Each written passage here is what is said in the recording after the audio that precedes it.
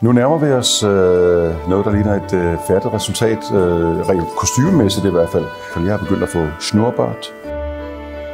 Mit navn er Joachim Lind Tranberg, og jeg skal spille øh, Frederik den 3. Det sjoveste bliver, jeg tror, det bliver at skulle være, at skulle være konge og, og få lov til at være sådan lidt øh, overstatus og med, med, med sin gode ret. Altså det, det, det glæder mig ret meget til. Og jeg kan bare mærke, at alt øh, på hele den her produktion, det er lidt større, end det plejer at være. Det bliver fantastisk at få lov til at være en del af den her proces. Alle sejler sig til, at det skal blive en fantastisk oplevelse.